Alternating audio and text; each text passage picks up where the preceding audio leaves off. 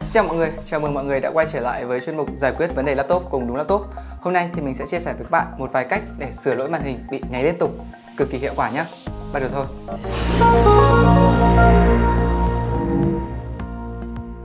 Đầu tiên chúng ta cần biết tại sao lại xảy ra cái lỗi này. Đây là một lỗi không quá là phổ biến. Khi xảy ra lỗi thì thường nguyên nhân có thể xuất phát từ việc lỏng các màn hình, nguồn điện không đủ hoặc không ổn định, tần số quét không được đồng bộ với màn hình, lỗi hệ điều hành, vân vân. Nói chung là cũng khá là nhiều lỗi đấy. Bây giờ thì mình sẽ chia sẻ cho các bạn về cách khắc phục với từng nguyên nhân cụ thể nhé. Nguyên nhân đầu tiên là do nguồn điện không đủ mạnh hoặc không ổn định. Nếu nguồn điện cung cấp cho máy tính của bạn quá yếu, không đủ đáp ứng được quá trình xử lý của laptop thì sẽ có thể gây ra hiện tượng màn hình bị nháy.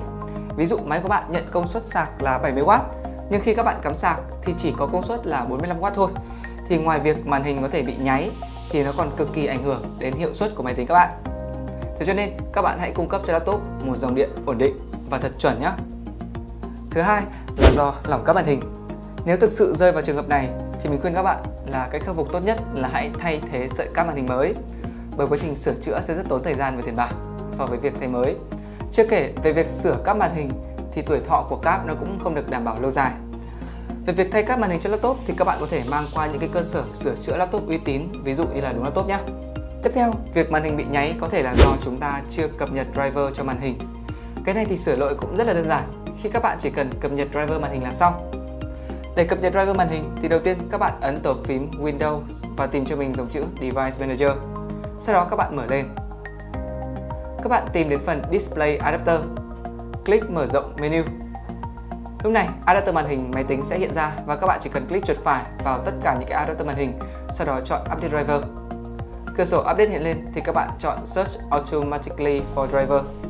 Chỉ cần làm một lần như vậy là những lần sau, nếu Windows tìm được phiên bản cập nhật driver mới hơn của màn hình, nó sẽ tự động cài đặt cho các bạn. Thứ tư là do tần số quét màn hình của bạn chưa phù hợp. Tần số quét không đồng bộ với màn hình sẽ là một trong những nguyên nhân gây ra màn hình bị nhấp nháy. Tần số quét trên màn hình là số hình ảnh mà màn hình có thể hiển thị ra trong một giây.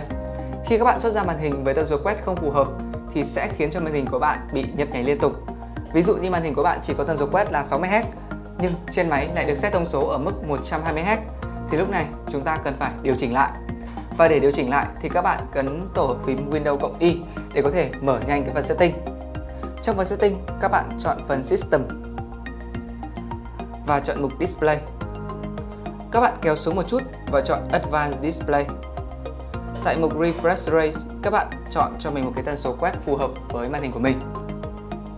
Thêm nữa là việc để độ phân giải màn hình quá mức cũng sẽ khiến cho màn hình của bạn bị nhấp nháy. Để khắc phục tình trạng này thì chúng ta có thể điều chỉnh lại độ phân giải, làm sao cho phù hợp với máy tính. Để xem độ phân giải tiêu chuẩn của máy thì các bạn hãy làm những bước sau. Đầu tiên, vẫn là nhấn tờ phím Windows cộng Y để có thể vào nhanh phần setting. Sau đó chọn mục Display. Cuộn xuống ở phần Advanced Display Setting. Các thông số về màn hình của máy sẽ được hiển thị ở phần Display Information. Phần Active Signal Resolution chính là độ phân giải tự nhiên của máy các bạn. Sau khi biết được độ phân giải chuẩn rồi thì các bạn có thể thay đổi độ phân giải của màn hình giống như với thông số đó. À, quay trở lại với Display Setting, sau đó các bạn tìm cho mình phần Display Resolution và chọn lại độ phân giải phù hợp. Thế là xong.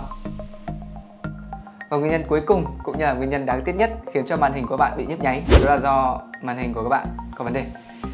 À, và cái gì cũng thế thôi các bạn ạ. Khi màn hình đã sử dụng trong một thời gian dài thì rất có thể sẽ bị hỏng hóc và tấm nền của màn hình sẽ có độ phản hồi kém đi, kém linh hoạt hơn so với trước đây. Đây thì gần như là một cái điều không thể tránh khỏi cho dù các bạn có giữ gìn cẩn thận đến mức nào chăng nữa. Nên nếu như màn hình của bạn đã quá cũ và xuất hiện tình trạng như trên thì các bạn cũng nên thay cho mình một chiếc màn hình mới. Các bạn có thể đến cơ sở sửa chữa laptop uy tín như đúng laptop để có thể thay thế cho mình một cái tấm nền màn hình chuẩn, hạn chế tình trạng màn xấu, đục, mờ. Và trên đây là video chia sẻ về cách sửa lỗi màn hình bị nhấp nháy liên tục. Nếu như các bạn cảm thấy khó khăn hoặc là đã thử vài cách rồi mà vẫn chưa khắc phục được thì hãy mang qua cơ sở của đúng laptop tại 43B Thái Thịnh, Đống Đa, Hà Nội kỹ thuật viên bên shop sẽ hỗ trợ cho các bạn. Cảm ơn các bạn đã theo dõi hết video. Còn bây giờ thì xin chào và hẹn gặp lại các bạn trong những video lần sau.